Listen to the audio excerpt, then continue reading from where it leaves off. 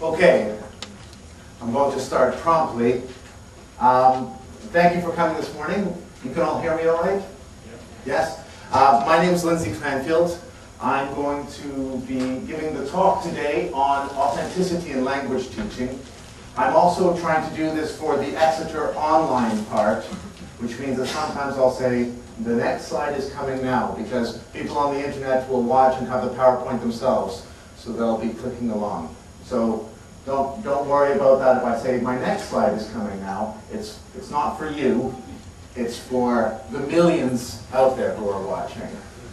Okay, um, I call my talk Being Real or Faking It because uh, the idea of authenticity and what's authentic or not is one that's uh, attracted my interest recently. I'm a teacher, I'm a teacher trainer, and I'm also a writer of materials. So it does make quite a lot of sense that I would be interested in authenticity, especially in that third part of my uh, work, the materials writing and materials creation part. So I'd like to explore a little bit the concept today of what is authentic um, and what isn't, and how much it matters uh, and what doesn't matter. Okay? Um, this is a talk, um, although there are a couple of small things you have to do. Uh, but they're mainly reading and maybe saying a word or two. You don't have, you won't have to get up and move around or do anything like that. Okay? Um, as any talk uh, goes, the first slide here, I'm going to talk about synonyms for authenticity that I found in different uh, dictionaries, uh, reviews, discussion on the issue. Um, the first thing I noticed, uh, that you'll notice as well here, are these are all usually positive words. Authenticity, genuineness, realness, truthfulness, validity, reliability. I like this other one, undisputed credibility, legitimacy. This is all very po positive connotations with, um, with authenticity, with authentic. Um, and you can see why it makes sense with all these positive connotations to want to have authentic material to teach with. It makes for an attractive um, cover copy to say all of this is authentic, okay, if you think of the positive connotations. Because we are in a digital world and images are quite powerful in this world, I decided to do another experiment in authenticity, finding out what it meant by going to Google Images. Has anyone used Google? Have anyone used Google Images? Yeah. You can search, you type in a word and it shows you pictures. So I've recently been looking at, uh, when I look at a definition of a term, I look on Google Images to see what images people associate with authenticity. So, uh, first of all, there was often images of seals. Uh, by seals, I mean, you know, a stamp of authenticity. That was a, a popular image. Uh, and you had them on certificates. Uh, so one of the first ones is this curious certificate, um, Authentic Bulgaria. Uh, it's an award for Authentic Bulgaria to a hotel in Verdela. Um, but it kind of makes me think, so if you don't win that, you're not authentically in Bulgaria. An authentic Bulgarian hotel gets the certificate. So uh, lots of certificate pictures. Um, another kind of picture that came up a lot was uh, authentic um, apparel. So get the real Gucci, the real Ralph Lauren, uh, so pictures of glasses, of handbags and things like that, and it was all um, authentic. Or I would say, can you spot the fake Gucci sunglasses? I, I could never spot the fake ones. Um, so uh, things like that.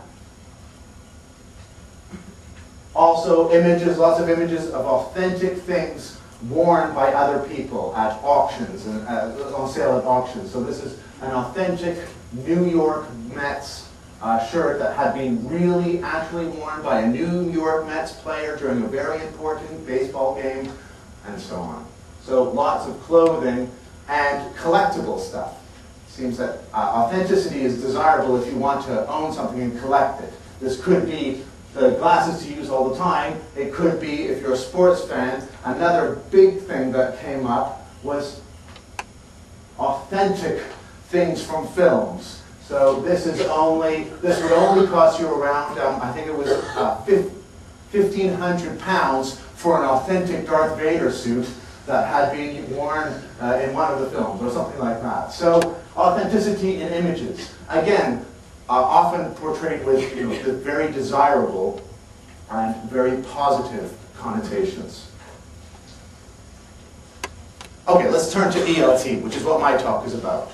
Um, in the ELT uh, material about authenticity, by that I mean articles, books, and so on, there's been um, some distinctions made. Uh, I could find four. Um, authenticity of material, which is what I automatically thought of. Um, authenticity of situation, which we'll come back to. Authenticity of task. And finally, authenticity of teacher. So I'd like to talk about each of these um, in, in turn uh, with relation to my work uh, as a teacher and a trainer and uh, a writer. Let's look at authenticity of material. Okay? This is where we have on the back of, um, of, of, published material books, it says all authentic texts, or includes authentic texts. Um, and if you, on my training course, we were given a definition of authenticity, um, and I've since read others. I'm going to start with the most complicated definition. Okay? Here, you can really dig into this one. An authentic text is created to fulfill some social purpose in the language community in which it was produced. Well, that, that's quite heavy going, I think, especially at 10.34 in the morning. Let's look at another easier one.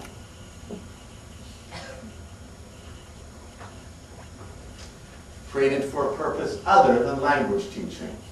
That's an authentic text. or a text created for native speakers.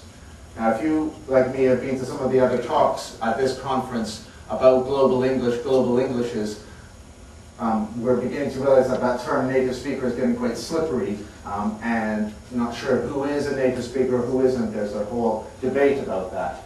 But usually something of an authentic text um, will meet some of these criteria, well, meet some of these criteria. There are good reasons I think, to use authentic material. I'm not making an argument against uh, authentic material. I think there are good reasons. Um, one of them is it's argued that authentic material prepares students for the real world, for outside um, the classroom. Yes? Inauthentic, uh, it is argued, doesn't do that. Another um, good reason is that it shows language how it's actually used in all its richness, all its co uh, complexity, um, and so on, which is not always the case with carefully written material or scripted material. And another argument that's often used is that it's more motivating for students, that uh, if they think that it's real um, and believe it's authentic, and the teacher often makes a big deal of that, saying, yes, this is real, this isn't uh, written just for you, it's, it's written for uh, native speakers, um, then, then it's supposed to be more motivating. And I think there are lots of good authentic materials out there. Um, one area which I've been interested in recently is authentic listening material. Um, we did a project with One Stop English. If you were at that talk, apologies, I'm going to repeat it a bit here, is something called Live from London, where we interviewed people in the street. So real people, uh, we didn't give them any script, we didn't um, edit what they said. We didn't get them to do it again. We took the raw material and then designed activities around it. I'd like to play a little bit of um, one of them to give you an idea of uh, authentic listening material.